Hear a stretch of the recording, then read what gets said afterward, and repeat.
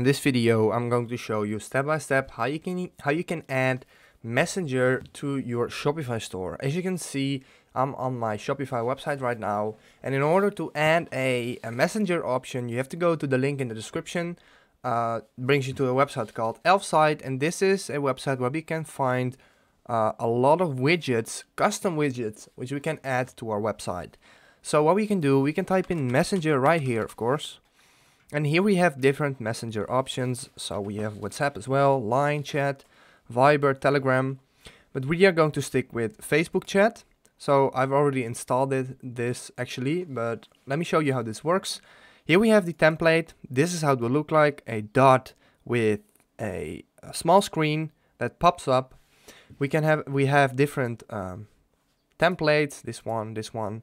I'm just going to stick with this one for now. Um, then continue and what we can do right now, we can customize the chat bubble, for example.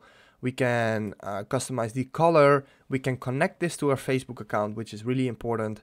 So people on our website can always contact us through the site.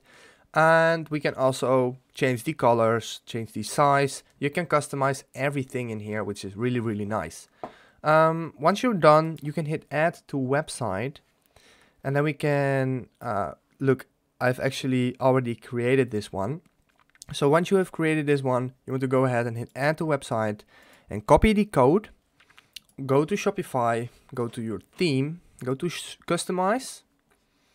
And then what we need to do is add section, custom liquid, and paste in the code right here.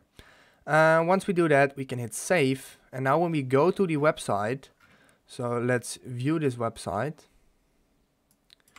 uh, just like this. We can see that, oops, this is actually in front of it, but here we can see the logo and this is the messenger that comes up.